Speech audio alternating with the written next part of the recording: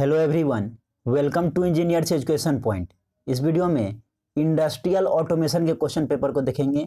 ये एग्ज़ाम 12 फरवरी 2024 को कंडक्ट करवाया गया है। State board of technical education Bihar के द्वारा।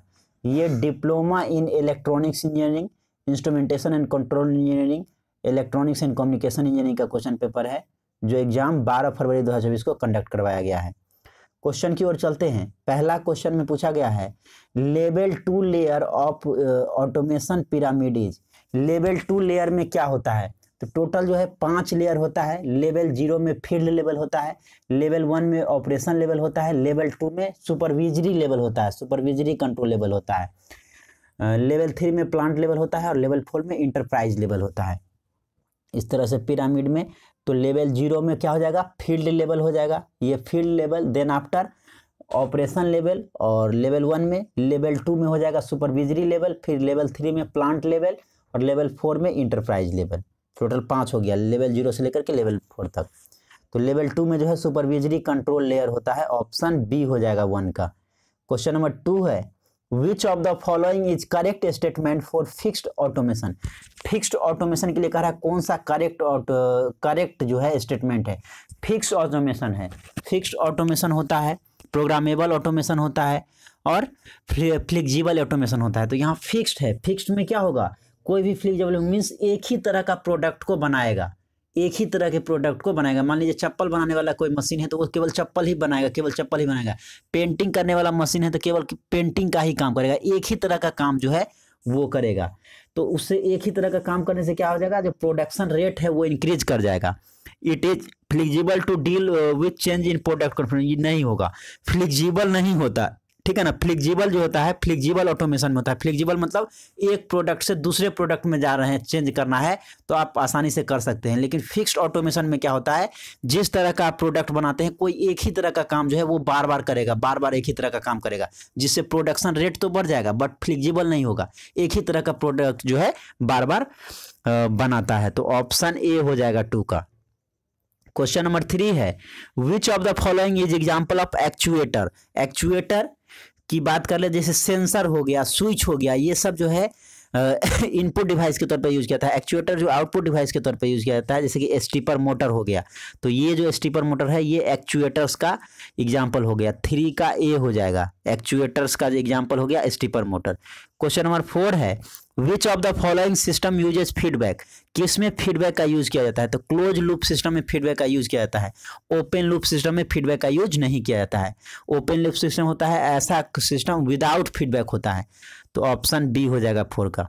क्वेश्चन नंबर फाइव है which of the following is part of DC signal conditioning system DC signal conditioning system का कौन सा पार्ट होता है? तो डीसी सिग्नल कंडीशनिंग का जब आप ब्लॉक डायग्राम देखेंगे तो उसमें ट्रांसड्यूसर भी होता है लो पास फ़िल्टर भी होता है ब्रिज भी होता है, ये सभी का यूज़ किया जाता है ऑल ऑफ़ एव हो जाएगा। Option D question number six है dash is used to transmit measured quantity to a remote location for processing and recording in data acquisition system कह रहा किसका यूज़ किया जाता है? To transmit measured quantity to a remote location for processing and recording remote location के लिए processing recording के लिए किसका यूज़ किया जाता है? टेलीमेट्री का यूज़ किया जाता है रिमोट लोकेशन के लिए. ऑप्शन बी हो जाएगा. क्वेश्चन नंबर सेवन है. Four is to one multiplexer required dash select line. Four is to one multiplexer है तो two to the power m is equal to n होता है। एन यहाँ पे चार इनपुट हो गया तो दो पर power m is equal to चार हो गया तो इसको क्या लिख सकते हैं? दो पर power m is equal to चार को दो पर पावर दो लिख सकते हैं। तो एम का वैल्यू दो हो गया, दो क्या हो गया? सेलेक्ट लाइन हो गया, सेलेक्ट लाइन हो गया, ऑप्शन ए हो जाएगा। डिजिटल इलेक्ट्रॉनिक्स का ये क्वेश्चन है। क्वेश्चन नंबर एट है different channel signals are multiplex on a single channel sequentially one after another देखिए डिफरेंट सारा जो है सिग्नल्स है उसको एक ही चैनल से जो है उसको मल्टीप्लेक्स किया जाए एक ही चैनल पे और एक के बाद दूसरे दूसरे के बाद तीसरा जो है सिक्वेंशियली जो है उसको पास करवाया जाता है। तो यहाँ पे क्या हो गया? टाइम जो है अलग अलग टाइम दिया जा रहा है मतलब टाइम का डिवीज़न हो रहा है। तो ऐसे प्रोसेस को हम लोग टाइम डिवीज़न मल्टीप्लेक्सिंग बोलते हैं। ठीक है ना? जो चैनल एक ही सिंगल चैनल होगा, लेकिन अलग अलग टाइम दिया जाएगा तो टाइम डिवीज़न मल्टीप्लेक्सिंग अगर सेम टाइम रहेगा, सबके लिए टाइम रहेगा बट चैनल अलग अलग दिया जाएगा तो वो फ्रीक्वेंसी डिवीज़न मल्टीप्लेक्सिंग मतलब फ्रीक्वेंसी को डिवाइड कर रहे हैं टाइम पूरा मिलेगा बट फ्रीक्वेंसी अलग अलग कम कम फ्रीक्वेंसी हो जाएगा डिवाइड करके तो फ्रीक्वेंसी डिवीज़न और फ्रीक्वेंसी एक ही चैनल रहेगा बट अलग अलग टाइम स्लॉट दिया जाएगा तो that is time division multiplexing तो ऑप्शन बी हो जाएगा। क्वेश्चन नंबर नाइन है which of the following is part of programmable logic controller PLC का कौन सा पार्ट है? सीपीयू तो होता ही है central processing unit input output module भी होता है। ऑप्शन सी हो जाएगा both A and B option C हो जाएगा।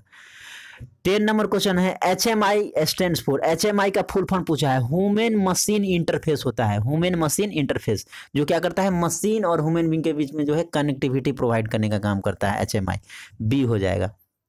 क्वेश्चन नंबर इलेवन है which of the following is primary goal of industrial automation जो इंडस्ट्रियल ऑटोमेशन है, उसका प्राइमरी जो है गोल क्या लक्ष्य होता है? टू इंक्रीज इफिशियंसी को बढ़ाना इम्प्रूव सेफ्टी को बढ़ाना टू रिड्यूस कॉस्ट ये सभी काम होता है इसका। इफिशियंसी को भी बढ़ाना सेफ्टी को भी बढ़ाना और कॉस्ट भी कम से कम करना। तो ऑल ऑफ़ एवब हो जाएगा ऑप्शन डी हो जाएगा।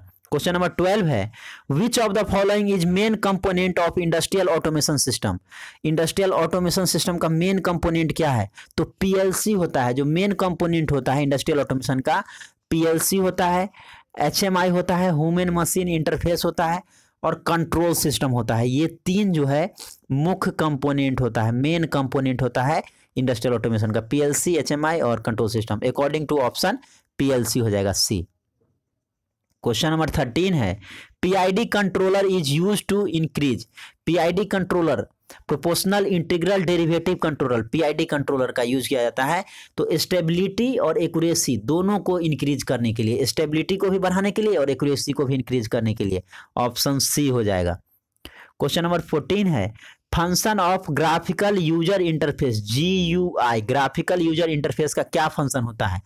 To understand the position of the tool according to the input program input program के अकॉर्डिंग जो है जो टूल का पोजिशन होता है, उसको समझना, अनुकरण करना ऑप्शन सी हो जाएगा।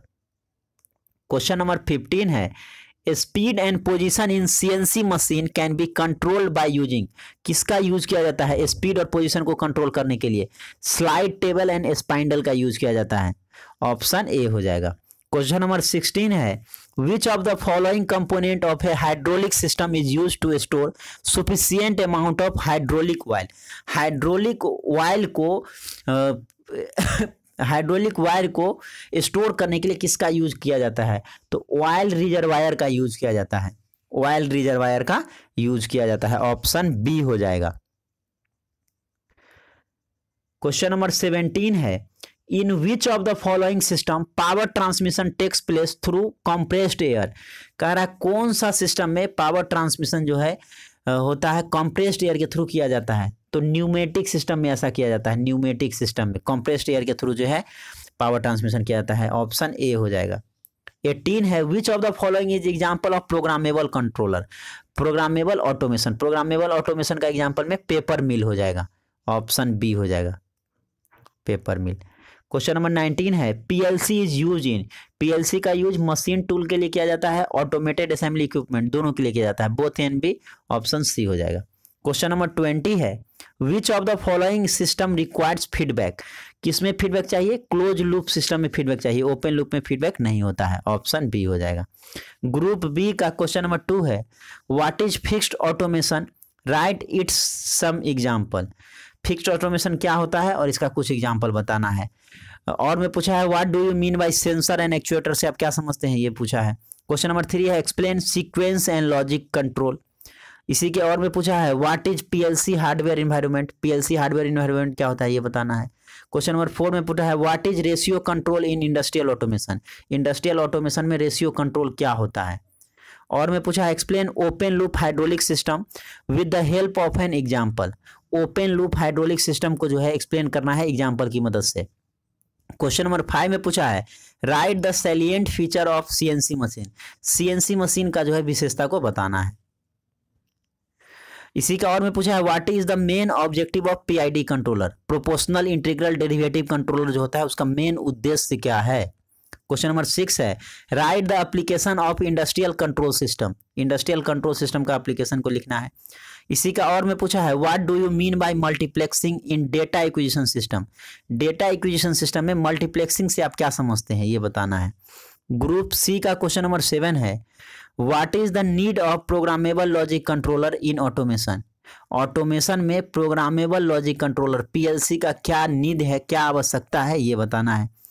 और मैं पूछा है explain working principle of pneumatic control system pneumatic control system का वर्किंग प्रिंसिपल को बताना है। क्वेश्चन नंबर एट है what is industrial automation write its advantages and application industrial automation का क्या एडवांटेज है और क्या उसका एप्लीकेशन है, ये बताना है।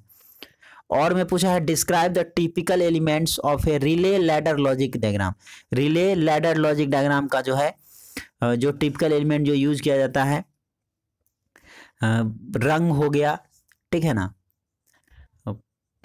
तो उसको जो है बना के बताना है।